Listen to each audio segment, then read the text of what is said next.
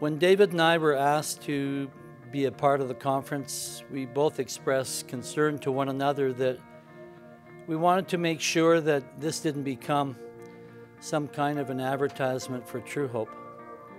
I know that um, we're out there and, and, we're doing what we can to help the people that struggle with various mood disorders, and we've been through a lot. But I think it's important to realize that this is about micronutrient supplementation, come what may, wherever that comes from. And there are so many wonderful things out there, and no company possesses it. Possesses it. It's, that's not the purpose behind this at all. I want you to know that our purpose as a company is to get this researched so that it can be put into the hands of the professionals that need to do this. And we've got a growing number of professionals that are doing this and we're working with more and more all the time and that's where we want to go. All of the research that's taken place here has been absolutely independent. We've never paid five cents for it.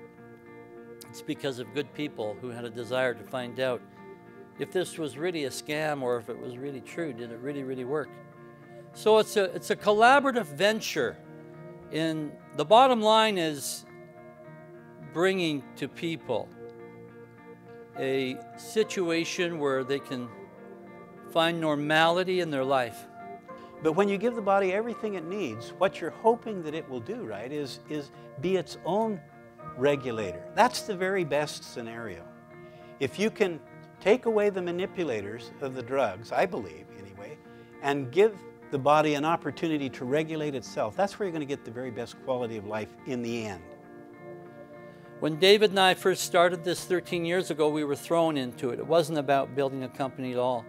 It was to support our families, to make sure that they had product that they needed to maintain their mental wellness. And it's morphed, it's taken on a totally different picture.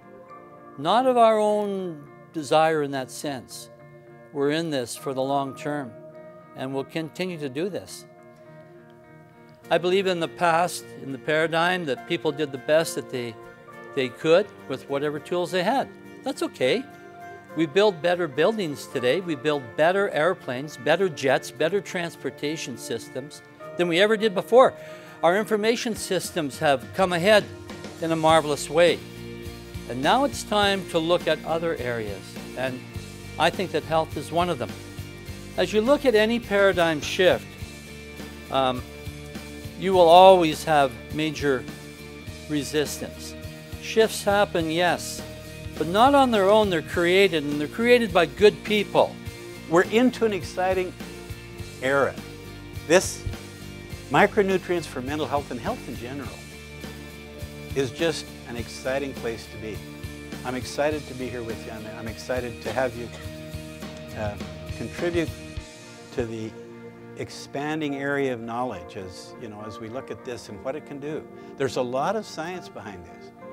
It really does explain better than anything else that we know why these disorders in mental illness exist. It's really the only explanation that there is that makes any sense.